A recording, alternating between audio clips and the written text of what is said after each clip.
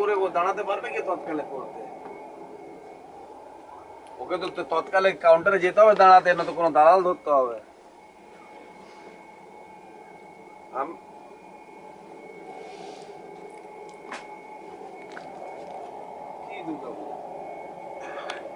আরে ওর এখন টিকিট দেখা ওর আমার তো টেনশন করে দিল যে টিকিট কোথা থেকে পাবে, ওখান থেকে এসে হ্যাঁ? দেখছি আমি কালকে ধানবাদে পাওয়া যায়।